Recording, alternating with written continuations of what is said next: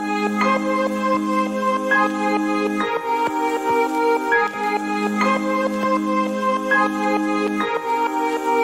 you.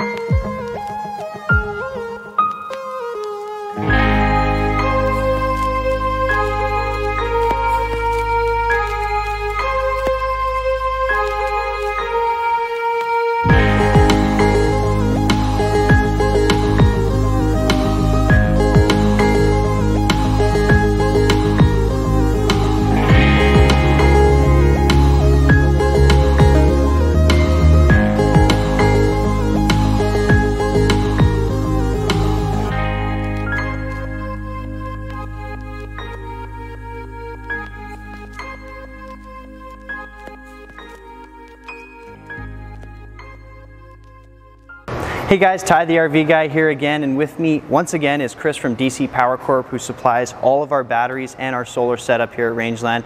And what we're going to talk to you guys about now is the solar package that we offer at our dealership from Chris here. So a lot of the questions that we get, Chris, from a lot of new campers and even experienced campers is they're talking to us about solar. You know, what's the best system to go with? You know, what's, you know, when should I be using it? How to maintain it? All that kind of stuff. So do you want to take us through all that? Absolutely, yeah. Perfect. So I think the first thing to touch on is, is what really does a solar system do? Absolutely. Uh, some of the uh, questions we get asked a lot that um, really sort of highlight how people misunderstand what solar is. People will ask like, um, what, what, what do I need for solar to run a microwave? Or Of how much solar do I need to, to make a pot of coffee? Right. And that's not really how it works. Um, essentially, the easiest way to look at a solar package is it's an onboard battery charger. So every day you're using battery power to power all your devices, and during the day when the sun's out, the solar panel is replacing that power back into your battery bank Right. so that it allows you to do two different things. First off, you can sort of do more with your RV while you're dry camping, but also two, you can go for longer because without a solar package, you'll be surprised to find how limited you can be and how many days you can go camping before you start running out of power. So. Absolutely. Absolutely. Um, if we look at it in terms, um, anybody who saw the, the battery segment we did, and, and we were talking about how much power people use in a day. So the average person is going to use about 50 to 60 amp hours of power every single day. Um, if you have two 6 volt batteries and you're going to go dry camping, you have about 220 amp hours of storage capacity. So if we think of 60 a day versus 220 total, Yeah. we're looking at three to four days before we start running out of power. Exactly. A lot of people want to go for a week. They might even want to go for two weeks. Um, so uh, this is where solar can be a huge benefit. Um, if we look at it in terms of our most simple package that really is on the market, the 185 watt kit um, has really become sort of the starter package. And don't let that fool you because uh, I'm going to explain how much of a difference it can make for you. yeah. Every single day, on average, in spring and summer months, this will replace about 45 amp hours back into your battery bank. So instead of using 60 every day, we've cut our net consumption down to 15 amp hours a day. Wow. If you have 220 amp hours of storage in your in your six volt battery bank, and you're only using 15 a day, Yeah. you just increased your camping time to over two weeks. no kidding. So just with the most basic and simple of solar kits, uh, completely solve the problem for people that want to do long-term camping with a fairly simple battery bank. Okay. And fairly simple battery bank, you're talking something around like what, two six volts or Two something like that? Two six volts is the perfect starting point Yeah. for probably 80% of the RVers out there. Okay. One of these kits with two six volts will allow them to do everything they want to do. That's awesome. Now, of course, for people that are looking to do a little bit more, you know, they've got an inverter on board and, and we're going to do all kinds of things. We're going to watch movies and we're going to make toast and coffee in the morning. We're going to microwave stuff. We want to really use the unit as if we were plugged in. Right. There's packages for that too. We can go with four 6 volt batteries. We can go with a 300 watt kit. and just sort of increase the storage capacity Mm-hmm. and then increase the power that we're putting back in very easily. And for our campers out there that don't know what an inverter is, do you want to touch on that a little bit too? Absolutely. So what an inverter does is it essentially allows us to use all our 120 volt devices, our AC powered devices inside the trailer, even though we don't have plug-in available.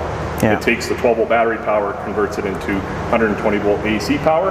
So now all of our outlets remain live inside of our trailer, even if we don't have shore power available. So Awesome. yeah, yeah, Awesome. Now, some people, campers, obviously like shade, right? We like Yeah, to park in the trees.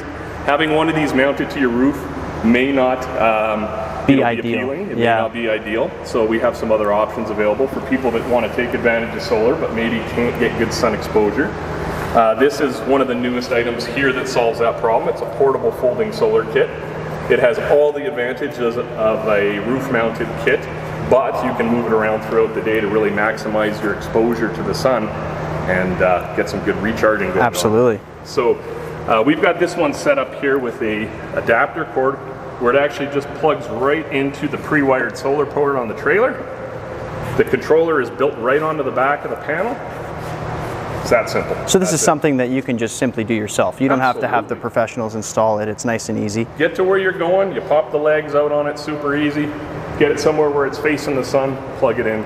And yeah, I know most of our trailers all come with actually this simple little, what do you, what do you call that? Is it a ZAMP plug-in? This is or- a pre-wired ZAMP port. Gotcha. Um, the kits that we supply come with uh, alligator clips, eyelet terminals for systems that don't have the pre-wired port. Right. And they also now come with the ZAMP pre-wired port and the Furrion connector as well if you happen to have a Furrion. port. Oh, awesome, So awesome. Nice and easy for everybody to just connect, uh, go right to the batteries. You don't have to take the lids off the boxes and clamp onto the batteries directly Right. anymore if you have one of these ports. So very convenient. Awesome. So one of the questions I get asked a lot, especially for the customers that like to leave their trailers in storage, they have this big solar setup. Is this something that is going to allow them to essentially have a, say, a solar kit like the big one here or something like that? Is it going to keep their battery maintained through the winter times? Is that a safe way to maintain things or? Well, we'll touch on the winter in a second, but Okay. I'm glad you brought this up because one of the biggest issues that we see in how people use their units throughout the season Yeah.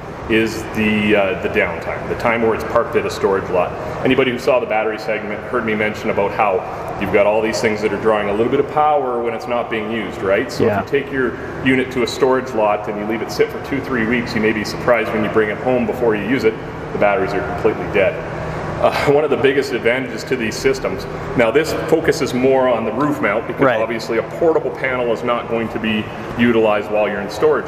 But if you have the roof mount style where it's up there and you've got your unit parked in a storage lot, this will keep the batteries topped up the whole time it's in storage. So Oh, that's awesome. when you pull it out of the unit, uh, you pull your unit out of the storage lot on a Friday afternoon, you're going to go camping, you're fully charged, you're ready to go. Beautiful. And, uh, yeah, so very convenient.